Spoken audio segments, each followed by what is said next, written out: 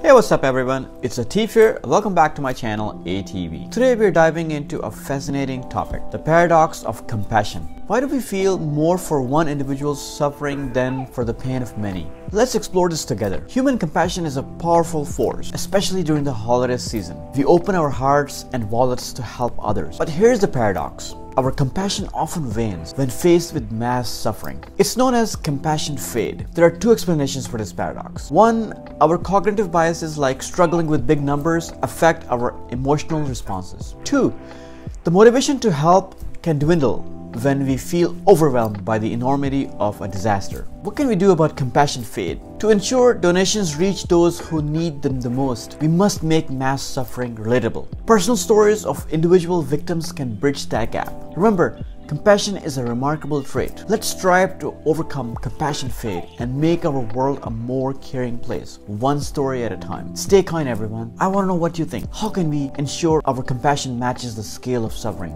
Share your thoughts in the comments below. That's it for today's vlog. I hope you enjoyed it. If you did, give this video a thumbs up and don't forget to share and subscribe for more content like this. Thank you all so much for watching. I'll see you next time.